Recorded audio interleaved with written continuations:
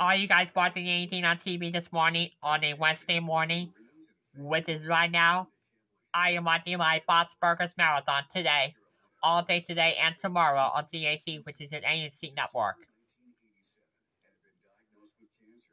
And then later today at 4 p.m. through 11 p.m. tonight is my Frasier at Home Movies Marathon today on DAC, which is an AMC network.